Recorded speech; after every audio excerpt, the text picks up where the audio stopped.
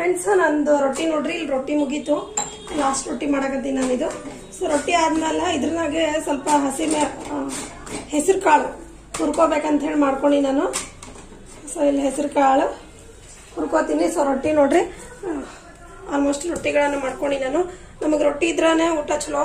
ಇಲ್ಲಾಂದ್ರೆ ನಮಗೆ ಊಟ ಪೂರ್ತಿಯಾಗಿ ಆಗಂಗಿಲ್ಲ. ರೊಟ್ಟಿ ಮಾಡಿದ ಗ್ಯಾಸ್ ಕಟ್ಟಿ ಎಲ್ಲ ತೊಳ್ಕೊತೀನಿ ನಾನು. ಅಷ್ಟೊತ್ತಲ್ಲ, ಈ ಹೆಸರದ್ದು ಕಾಳುಗಳನ್ನ ಹುರ್ಕೊಂಡು ಇವತ್ತು ಹೆಸರಿನ ಸಾರು ಮಾಡ್ಬೇಕಂತ.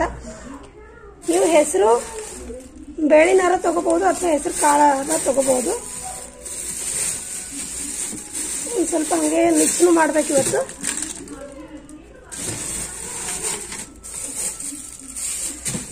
ಸ್ವಲ್ಪ ಸ್ವಲ್ಪ ಹೆಸರು ಹಾಕ್ತೀನಿ.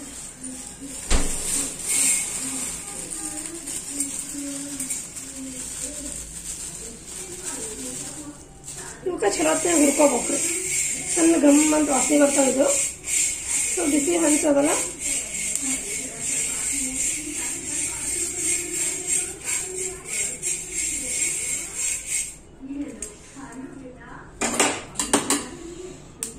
ಇದು ಚಟಪಟ ಚಟಪಟ ಅನ್ನೋ ಅಂತದ ಮತ್ತು ಚಂದಾಗಿ ಹಿಂಗೆ ಅವಕ್ಕೆ ಮ್ಯಾಲೆ ಕಣ್ಣು ಬೀಳ್ಬೇಕು ಆ ಥರ ಚಂದಾಗಿ ಹುರ್ಕೋಬೇಕು ಇವಕ್ಕೆ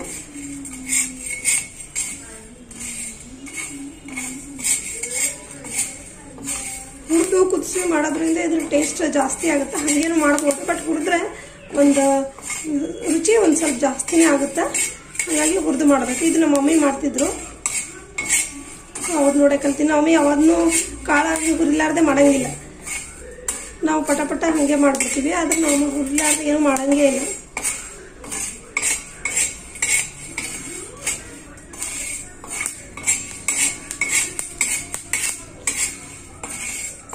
ಚಟಪಟ ಚಟಪಟ ಅನ್ನಾಗತ್ತವು ಚೆಂದಾಗಿ.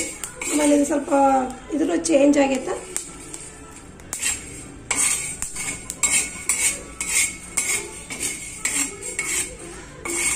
ಇದರಿಂದ ಸ್ವಲ್ಪ ಸ್ವಚ್ಛ ಮಾಡ್ಕೊತೀನಿ ನಾನು ಇನ್ನು ಸ್ವಚ್ಛ ಮಾಡಿ ತೊಳೆದು ಕುದಿ ಇಟ್ಬಿಡ್ತೀನಿ ಸೊ ಗ್ಯಾಸ್ ಆಫ್ ಮಾಡಿ ಸಾಕೀಗ ಸೊ ಹಂಚು ಬಿಸಿ ಇರ್ತದಲ್ಲ ಹೇಳಿದ್ರು ಸ್ವಲ್ಪ. ಅದನ್ನ ಇನ್ನೊಂದು ಸ್ವಲ್ಪ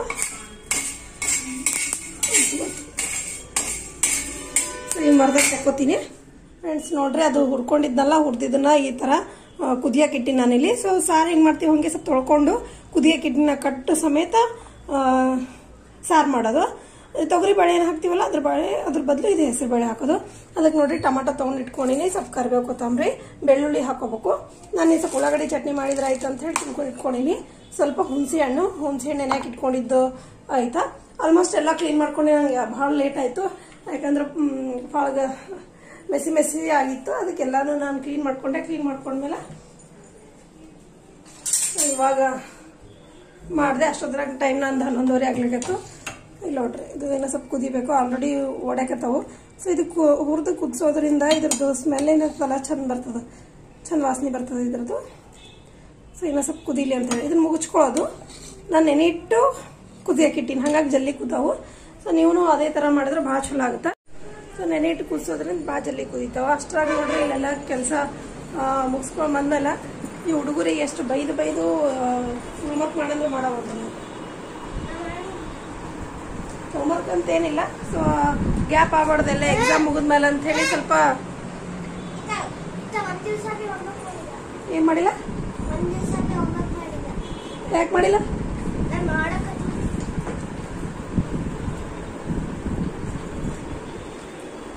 ಎಕ್ಸಾಮ್ ಮುಗಿದು ಬರ್ಬೇಕಾದ್ರೆ ಅವರಿಗೆ ನೆಕ್ಸ್ಟ್ ಇಯರ್ದು ಅಥವಾ ರಿವಿಸನ್ ಅಂತ ಹೇಳಿ ಸುಮ್ಮನೆ ಸ್ವಲ್ಪ ಹೋಮ್ವರ್ಕ್ ಟೈಪ್ ಕೊಟ್ಟಾರ, ಅದನ್ನೇ ಆಕೆ ಮಾಡಾಕತ್ತಾಳ.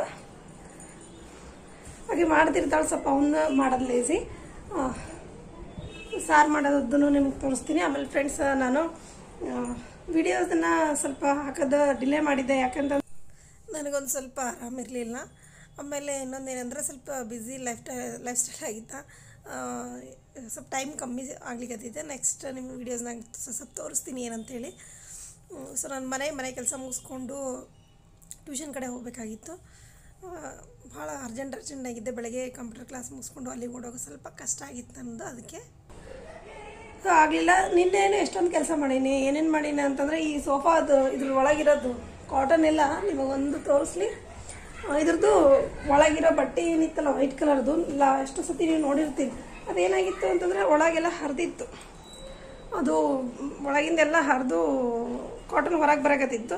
ಅದಕ್ಕೆ ನಾನು ಈ ಥರ ಈ ಹಳೆ ಬ್ಲೌಸ್ ಪೀಸ್ ಇರ್ತಾವಲ್ಲ, ಈ ಹಳೆ ಬ್ಲೌಸ್ ಪೀಸಿಂದ ಇದಕ್ಕೆ ಕವರ್ ಹೊಲಿದು ಇದಕ್ಕೆ ಹಾಕಿ ಸೊ ಹಾಗೆಯೇ ರಾತ್ರೆಲ್ಲ ಕೆಲಸ ಆಯಿತು ನಿನ್ನೆ. ಸೊ ದಿನ ಒಂದೊಂದು ಮಾಡ್ತಾನೆ ಇರ್ತೀನಿ. ಬಟ್ ಕೆಲವೊಂದು ಟೈಮ್ ಏನಾಗುತ್ತೆ ಅಂದರೆ ವಿಡಿಯೋ ಮಾಡೋಕ್ಕಾಗಲ್ಲ ಶೇರ್ ಮಾಡೋಕ್ಕಾಗಲ್ಲ, ಈ ಥರ ಎಲ್ಲ ಪ್ರಾಬ್ಲಮ್ ಬರ್ಲಿಕ್ಕತ್ತವ ಆಮೇಲೆ ಕಾಟನ್ ಕಮ್ಮಿ ಮಾಡಿ. ಭಾಳ ಕಾಟನ್ ಇರೋದ್ರಿಂದ ಇದು ಒಳಗಡೆ ನೀಟಾಗಿ ಕೂಡ್ತಿರ್ಲಿಲ್ಲ. ಸೊ ಹೊರಗೆ ಹೊರಗೆ ಬರ್ತಿತ್ತು. ಕೆಲವೊಂದ್ರದಾಗ ಅಷ್ಟೇ ಇಟ್ಟಿನಿ. ಡುಮ್ಮಕ್ಕಾಗೈತ ಕೆಲವೊಂದ್ರಾಗ ಕಮ್ಮಿ ಇಟ್ಟಿನಿ. ಸ್ವಲ್ಪ ಸೊಟ್ಟಕ್ಕಾಗೈತ ಸೊ ಈ ರೀತಿ ಆಗೈತ? ಸೊ ಆಲ್ರೆಡಿ ಹನ್ನೆರಡು ಗಂಟೆ ಟೈಮ್ ಆಯಿತು. ಹನ್ನೆರಡು ಗಂಟೆ ಟೈಮಿಂದ ಏನು ಮಾಡ್ಬೇಕಂತ ಗೊತ್ತಿಲ್ಲ. ಸಾರು ಮಾಡಿಕೊಂಡು ಮಧ್ಯಾಹ್ನ ಸ್ವಲ್ಪ ಊಟ ಮಾಡ್ತೀವಿ. ಬೆಳಗ್ಗೆ ಎಲ್ಲರೂ ಒಂದೊಂದು ರೊಟ್ಟಿ ತಿನ್ಕೊಂಡಿವಿ ಅವಾಗೆ. ಅದಾದ್ಮೇಲೆ ಮಧ್ಯಾಹ್ನಕ್ಕೆ ಅನ್ನ ಮತ್ತು ಸಾರು ಮಾಡಿದ್ರೆ ಆಯಿತು ಅಂತ ನಾನು ಅಂದ್ಕೊಂಡಿನಿ ಸೊ ಓಕೆ ನೋಡೋಣಂತ ನೆಕ್ಸ್ಟ್ ಸೊ ಇದು ಕುದದ ಫ್ರೆಂಡ್ಸ್ ಒಂದು ಸ್ವಲ್ಪ ಚೆನ್ನಾಗೇ ಕುದ್ದದ. ಅದಕ್ಕೆ ನಾನು ಸ್ವಲ್ಪ ಟೊಮ್ಯಾಟೊ ಹಣ್ಣು. ಎಷ್ಟು ಬೇಕು ಹುಳಿಗೆ ಅಥವಾ ಗಟ್ಟಿಗೆ ಎಷ್ಟು ಬರಬೇಕು ನೋಡಿಕೊಂಡು ಹಾಕಬೇಕು ಒಂದು ಸ್ವಲ್ಪ ಕೊತ್ತಂಬರಿ. ಸೊ ಇದಿಷ್ಟು ನೀರನ್ನು ಹಾಕ್ಕೋತೀನಿ.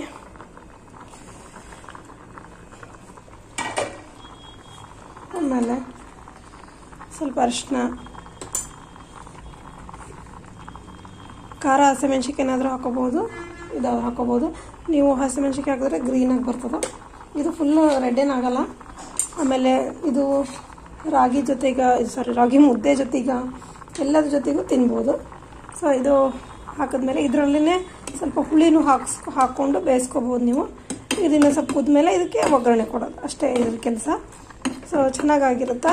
ನಾನು ಆ್ಯಕ್ಚುಲಿ ಗಡಿಗಿನಾಗ ಮಾಡ್ಬೇಕಂದ್ರೆ ಗಡಿಗಿನಾಗ ಆಲ್ರೆಡಿ ನಂದಿತ್ತು ಸಾರು. ಅದಕ್ಕೆ ಮಾಡೋಕ್ಕಾಗಿಲ್ಲ. ನಾನು ಒಂದು ಸ್ವಲ್ಪ ಹುಳಿನೂ ಇದ್ರಾಗೆ ಹಾಕೋತೀನಿ ಫ್ರೆಂಡ್ಸ್ ಇವಾಗ ಸ್ವಲ್ಪ ಹುಳಿನೂ ಹಾಕೋತೀನಿ. ಸೊ ಹುಳಿ ಹಾಕ್ಕೊಂಡೆ ನೋಡೋದು ನೀವು, ನೀರು ಸ್ವಲ್ಪ ಪ್ರಮಾಣ ಜಾಸ್ತಿ ಆಯಿತು. ಇದನ್ನು ನೆ ಚಂದ ಕುದಿಸ್ಬೇಕು, ಮೆತ್ತಗೆ ಕುದ್ದ ಮೇಲೆ ಇದಕ್ಕೆ ನಾನು ಒಗ್ಗರಣೆ ಹಾಕೋತೀನಿ ರೊಟ್ಟಿಗೆ, ಚಪಾತಿಗೆ ಎಲ್ಲದಕ್ಕೂ ಬೇರೆದು ಮತ್ತು ಸಾರು ಡಬಲ್ ಡಬಲ್ ಮಾಡ್ಬೇಕಂತಿಲ್ಲ. ತರಕಾರಿ ಇಲ್ಲಾಂದ್ರೂ ಈ ಥರ ಮಾಡ್ಕೊಂಡ್ರಾದ್ರೆ ರೊಟ್ಟಿ ಜೊತೆಗೂ ಚಲೋ ಆಗುತ್ತೆ. ನಮಗೆ ರೊಟ್ಟಿ ಇದ್ರೆ ತರಕಾರಿ ಬೇಕೇ ಬೇಕು. ಬಟ್ ಈ ಥರ ಮಾಡ್ಕೊಂಡು ಅಂದರೆ ಎರಡಕ್ಕೂ ಆಗುತ್ತೆ, ಅನ್ನಕ್ಕೂ ಆಗುತ್ತೆ, ಇದಕ್ಕೂ ಆಗುತ್ತೆ. ನಾ ಇದೇ ರೀತಿ ಆಲೂಗಡ್ಡೆ ಸಾರನ್ನು ಮಾಡ್ತಿರ್ತೀನಿ. ಆಲೂಗಡ್ಡೆ ಸಾರು ಮಾಡಿದ್ರೂ ಅಷ್ಟೇ ಎರಡಕ್ಕೂ ಆಗ್ಬಿಡುತ್ತೆ, ಅನ್ನಕ್ಕೂ ಆಗುತ್ತಾ, ಇದಕ್ಕೂ ಆಗುತ್ತೆ ಅಂತೇಳಿ ಈ ಕಡೆ ಇದ್ರಂಗೆ ಮೊಸರು ಮಾಡಿ ನೋಡ್ರಿ ಗಡಿಗೆನಾಗೆ ಒಂದು ಸ್ವಲ್ಪ ಅಲಸಂದಿ ಕಾಳಿಟ್ಟು ನೆನಿಟ್ಟು ನೋಡ್ಬೇಕು. ನಾಳೆ ಏನಾಗುತ್ತೆ ಅದು ಮಾಡ್ತೀನಿ. ಶಂಡಿಗೆ ಹಾಕಂಗಿದ್ರೆ ಶಂಡಿಗೆ ಹಾಕೊಂಡ್ಬಿಡ್ತೀನಿ. ಇಲ್ಲಾಂದರೆ ಮತ್ತೆ ಏನು ಬೇಕಾದ್ರೂ ಮಾಡ್ಕೊಂಡ್ಬಿಡ್ತೀನಿ. ಆಮೇಲೆ ಸ್ವಲ್ಪ ರೈಸಿಗೆ ತೊಳೆದಿಟ್ಟಿನಿ. ಇವು ಒಂದು ಸ್ವಲ್ಪ ನೆನಿಲ್ಲ ಅಂದ್ಬಿಟ್ಟಿನಿ ನೋಡ್ರಿ ಇವನು.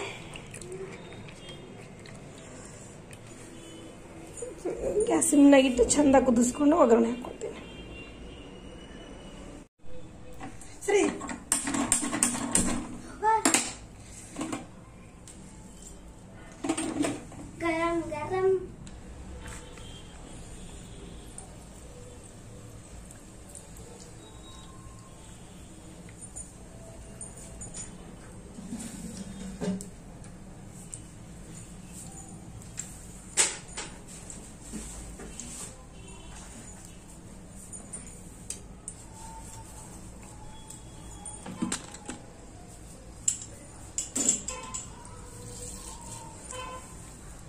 ಚಂದ ಕಾದದ ಕಾದ್ಮೇಲೆ ನೋಡ್ರಿ. ಎಣ್ಣೆ ಹಾಕಿನಿ, ಎಣ್ಣೆ ಹಾಕಿ. ಜೀರಿಗೆ ಮತ್ತೆ ಸಾಸಿವೆ ಹಾಕಿನಿ. ಸ್ವಲ್ಪ ಚಂದಾಗಿ ಸಿಡಿಬೇಕಾ? ಕಾಯಕ್ಕೆ ಭಾಳ ಟೈಮ್ ತಗೋ ಒಂದು ಟೈಮ್ ಕಾಯಿ ತೊಗೊಂಡ್ರೆ ಆರಕ್ಕೆ ಭಾಳ ಟೈಮ್ ತಗೋತಾರೆ ಸೊ ಈ ರೀತಿ ಸಿಡಿಬೇಕು ಆಕ್ಚುಲಿ ಆ್ಯಕ್ಚುಲಿ ಅಷ್ಟಕ್ಕಾದ್ರೆ ಇದು ಅಷ್ಟು ಸುಡೋದಿಲ್ಲ ಸೊ ಇವಾಗ ಬೆಳ್ಳುಳ್ಳಿ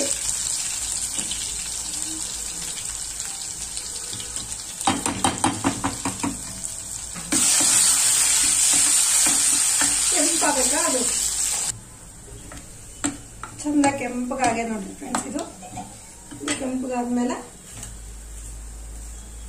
ಒಂದು ನಾಲ್ಕು ಒಣಮೆಣಸಿನ್ಕಾಯಿ ಹಾಕ್ತೀನಿ ಬೇಕಂದ್ರೆ ಮೆಂತ್ಯ ವೇಜ್ನು ಹಾಕಬೇಕು ಒಂಥರ ಸ್ಮೆಲ್ ಚಂದ ಬರ್ತದೆ ಅದರಿಂದ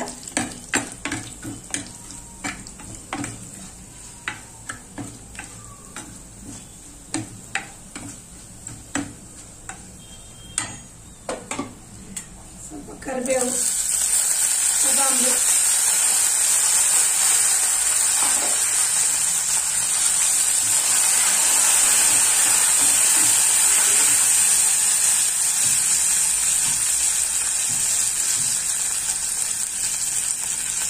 ಒಂದಿಷ್ಟು ಖಾರ ಹಾಕೋಬೇಕು ನಾನು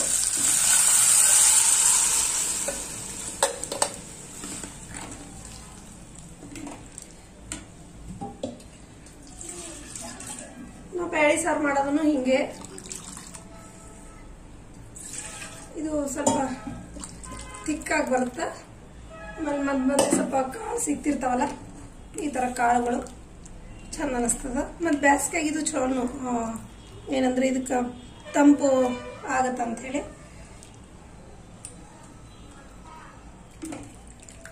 ಪೂಳಿ ಕರೆಕ್ಟ್ ಆಗೈತಾ? ಬೇಕಂದ್ರೆ ಒಂದು ಸ್ವಲ್ಪ ಸಾಂಬಾರ್ ಪುಡಿ ಹಾಕೋಬಹುದು ಏನಾರ ಹಾಕೋಬಹುದು ನಾನು ಒಂಚೂರು ಹಾಕೋತೀನಿ.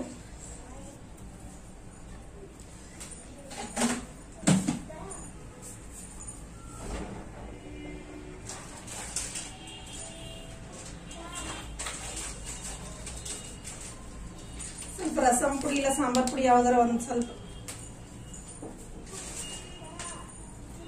ಹಾಕೊಂಡು ಬಂದ್ರೆ ಆಯ್ತು. ಇದ್ರ ಜೊತೆಗೆ ಮುದ್ದೆ ಮಾಡ್ಕೊಂಡು ತಿನ್ಬೇಕು. ಚೆಂದ ಅನಿಸ್ತದೆ ಟೇಸ್ಟಿ ಆಗಿರುತ್ತೆ.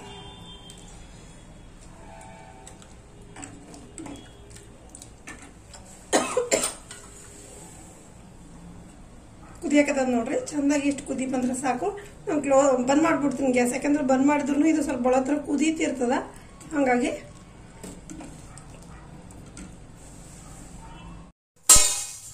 ಸೊ ಫ್ರೆಂಡ್ಸ್ ರೆಡಿ ಆಗೈತೆ? ಮಧ್ಯಾಹ್ನಾಗ ನಾವು ಊಟ ಮಾಡ್ಲಿಕ್ಕೆ ನೋಡ್ರಿ.